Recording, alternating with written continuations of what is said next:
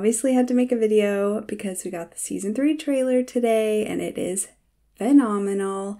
Um, I took some time after work to make some notes, so I'm ready to talk about it. I didn't do a reaction video. I had to work today. I had an event that I had to go table, so I wasn't like near Wi Fi or anything, and so, you know, I pulled my car over. It came out while I was driving. I pulled my car over and watched it, and, you know, then internally screamed for like four hours while I was at an event and then came home and watched it 150 more times. Um, so now I am ready to talk about it.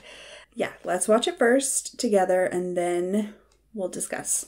All right, so three, two, one, play.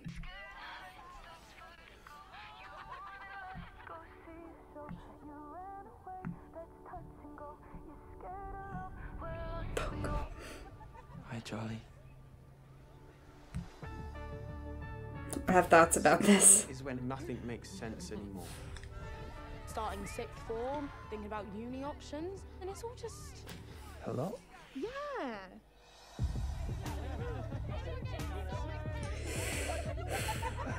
Charlie, I'm really worried about you. I've noticed you've been really stressed.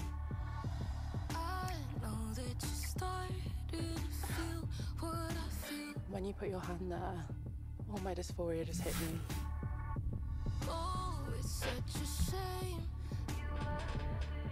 Our friendship group is just all over the place. I worry about you all the time. I hate feeling like this. I don't know what to do now. I really love him. My heart.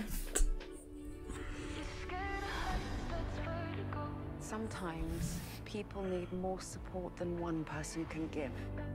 You can be there for him, standing together, even when it's hard. That's love, darling. We just want to be there for you. You have to let us. Intimacy is trusting someone enough to let go of some control. I don't even know what the hell I'm doing. I'm so excited for Darcy's hair. Now, I mean, maybe you'll get some good advice. Or maybe not. I wanted to admit that I love him.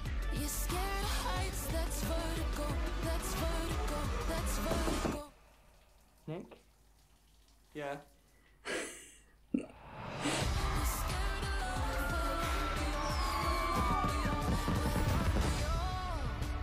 My babies. What can I do for you? Uh, uh me, no. Um, nice to meet you. Relatable, Nick. Relatable. okay, so obviously, me being me, I went frame by frame as soon as I could. And right away, I'm like, Paris Squad Beach Day! I'm so excited. I think those are going to be some really fun scenes. There's some hard ones in there, but I think we're going to get a lot of shenanigans, and I'm excited for the beach shenanigans. Um, we get a little poke, a little boop, boop on Charlie. I love when that happens in the comics. They do a lot of like little poking, and I'm glad that we got one worked in this season. Let's talk about the high Charlie.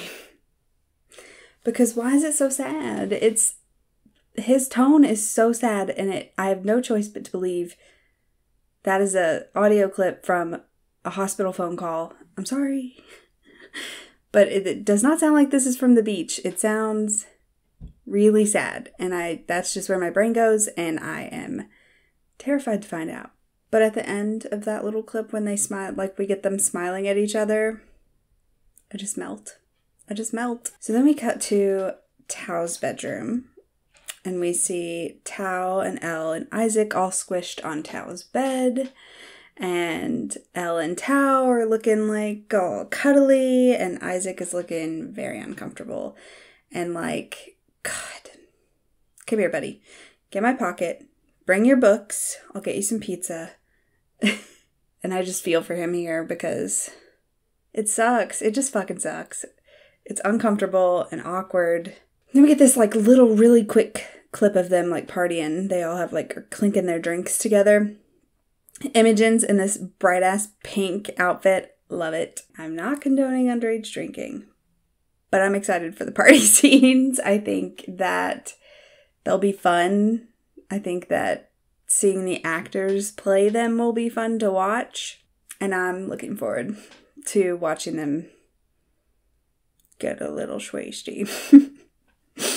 so then we get this shot of them seeing universities. They're like out at a campus. And I just have one thing. I wish, I wish when I was a teenager that I had a team of stylists that were dressing me every day. Because what the hell? They all look so good all the time. And I like I could never. I, I can't even dress that cute now, let alone when I was a teenager. Imogen's entire outfit is freaking adorable, from head to toe, adorable. And then Elle has on this like burgundy and teal type situation.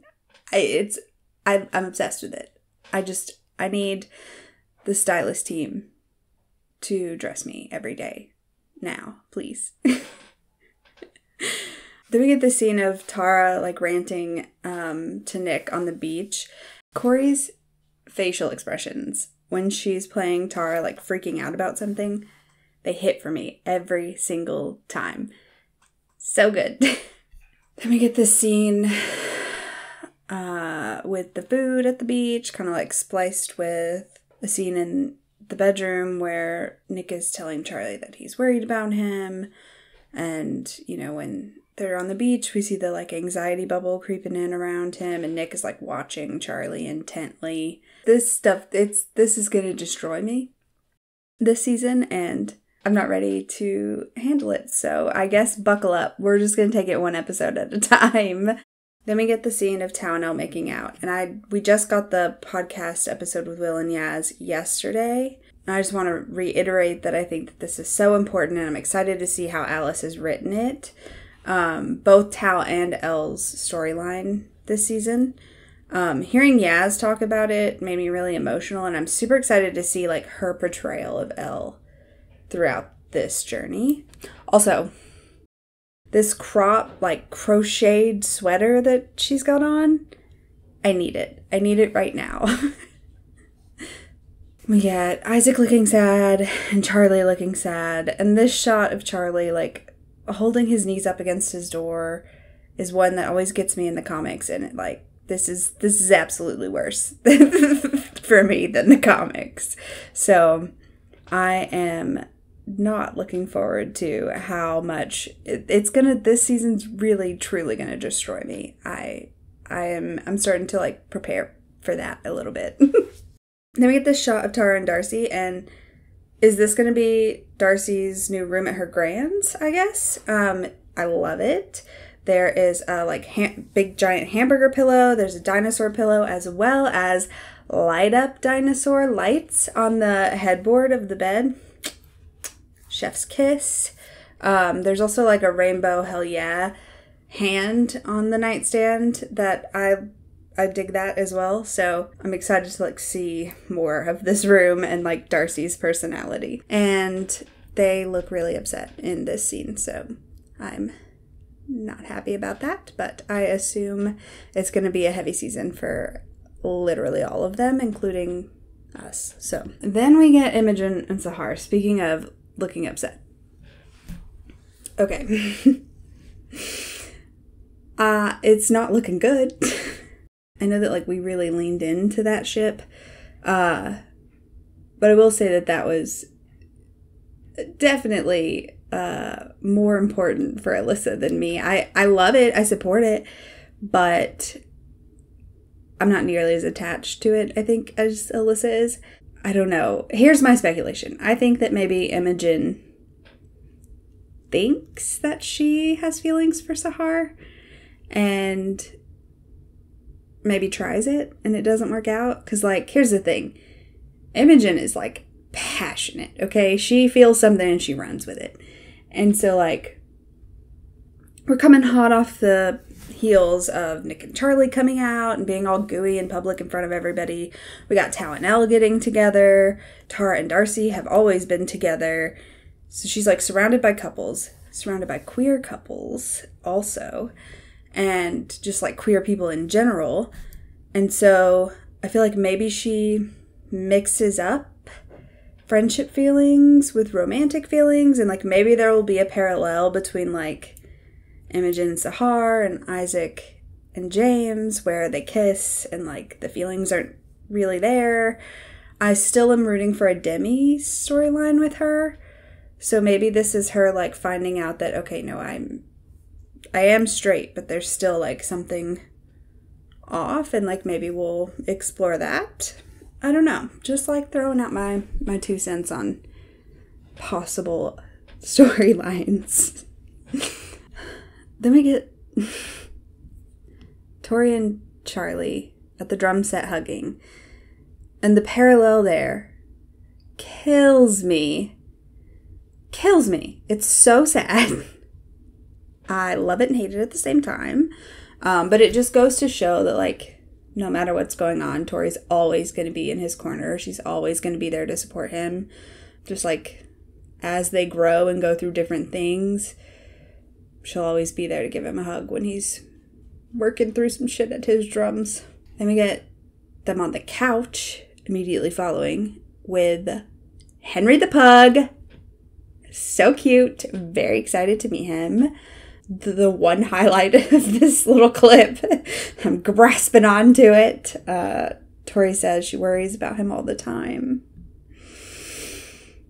Mm, it hurts. It hurts. It hurts. It hurts. I'm really not ready for the holiday stuff. That's the holiday stuff is going to get rough. Like the holidays are already hard for people. So yeah, the holidays are going to be heavy. And then send help because we're on the art room floor. All right, y'all. When the when the season 3 leaks happened, this was the first thing. The first leak that I was exposed to. This. I was so mad. I opened TikTok only to post our video. And you know, TikTok like recently has been it opens with an ad, right? So like when you open it up, it's like an ad for something. And I opened it up, and instead of there being an ad, there was this scene. and, you know, immediately my brain's like, Heartstopper. Took me about 2.5 seconds before I realized. And I just like screamed and threw my phone across the room. And I was so mad. And it's been weeks, you guys. I've been internally sobbing for weeks about this. And I wasn't, I can't, I can't talk to anybody about it. It's a leak. So I was just holding on to it, upset all on my own. I'm glad that I could share that now.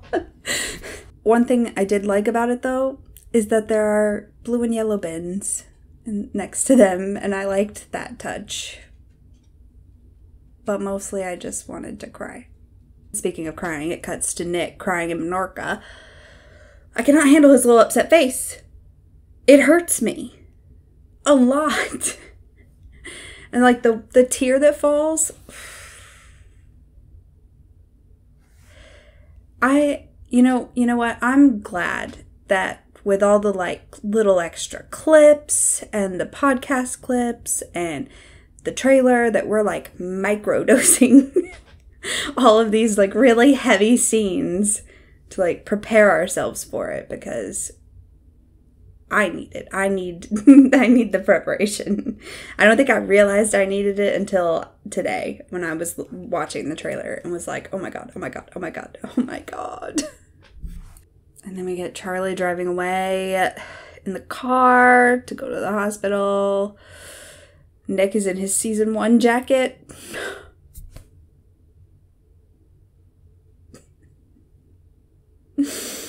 I can't handle it.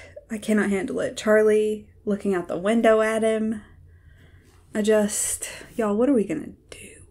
What are we gonna do? And then we have Hayley Atwell giving us a phenomenal monologue. And I am loving what I'm seeing of Nick's aunt. I think this is the perfect way to get around the fact that Olivia Colman couldn't join this season. This is a great way to like still include those lines and you know that piece of Nick's story because it's so important and so iconic.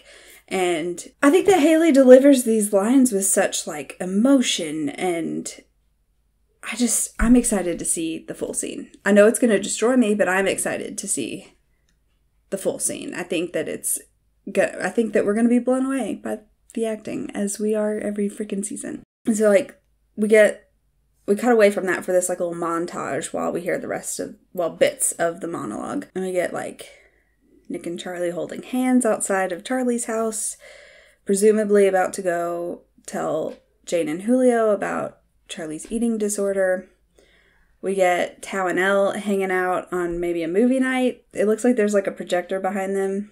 They would be projector people. We get Charlie and Isaac being adorable, and then um, we get Charlie's hands over Nick's eyes, taking him for a surprise at the zoo. I love that. I love that it's a surprise. It's so good. I can't wait to see just like how excited he is to be at the zoo.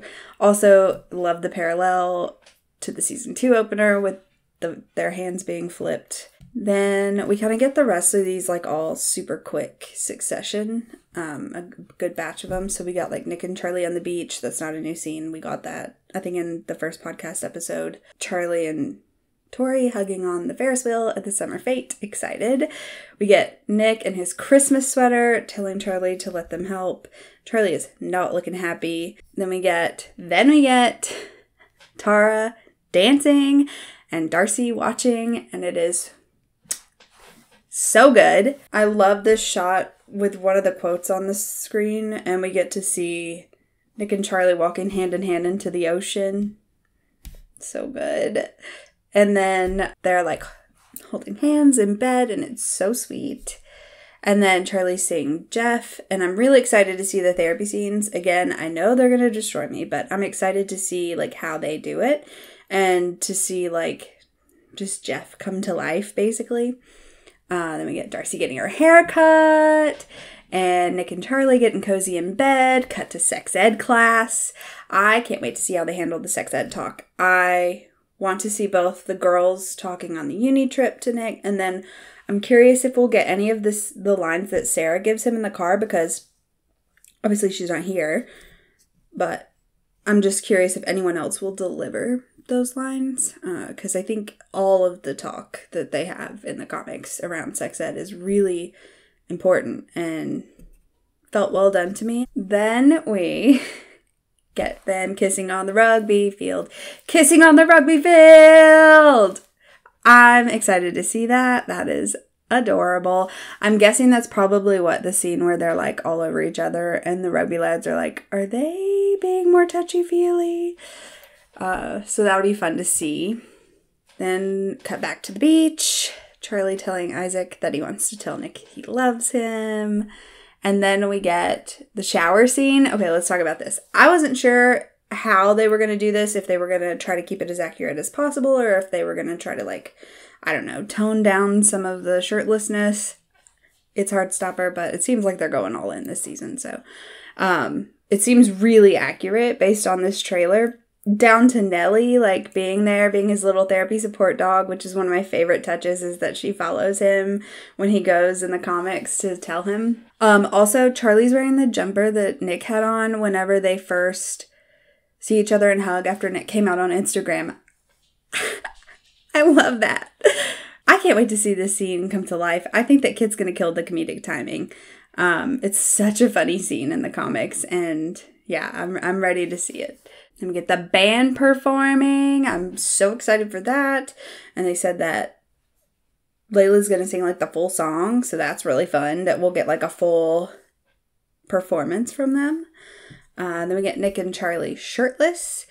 I know that we have confirmation that they get to say fuck in this season, and so I was super excited to see this little clip of them because it has to be the I love you and you are so fucking hot scene, which is beautifully done, and I just am really excited that it gets to be included. Then we get to see Charlie blowing out his birthday cake candles. This is a super cute birthday cake. It's blue and yellow with stars on it. Do we think Nick made it? I hope so. I don't think we've gotten enough of Nick baking, honestly, in my opinion. Uh, we just have what? The cupcakes at the sleepover, right? He didn't bake in season one. So I think it'd be super cute if he baked this cake for Charlie for his birthday. New Year's Eve kiss, adorable, perfect. And then title card. Let's talk title card. Oof. The gut punch that this was and still is every time I watch it. It is so dark. And we just have like, you know, it starts out with the one like yellow leaf. Y'all, my heart dropped. Even though I know it's going to be a dark season, I'm just like, not the title card being dark. Also, not only is it like really dark, it looks like it has like the anxiety bubble animation on like on the background of it. Ouch. I just